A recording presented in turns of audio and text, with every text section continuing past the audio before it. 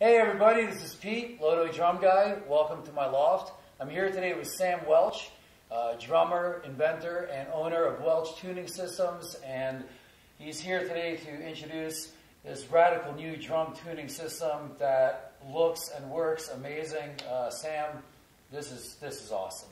Thank you very much. We're so happy to be here, and we really appreciate you hosting us and your feedback. And uh, you know, I really look forward to working with you in the future here. Yeah, I think this is going to set the industry uh, on fire. I, I love everything about it. The playability is great. It looks great. It's built really top notch, man. Great product.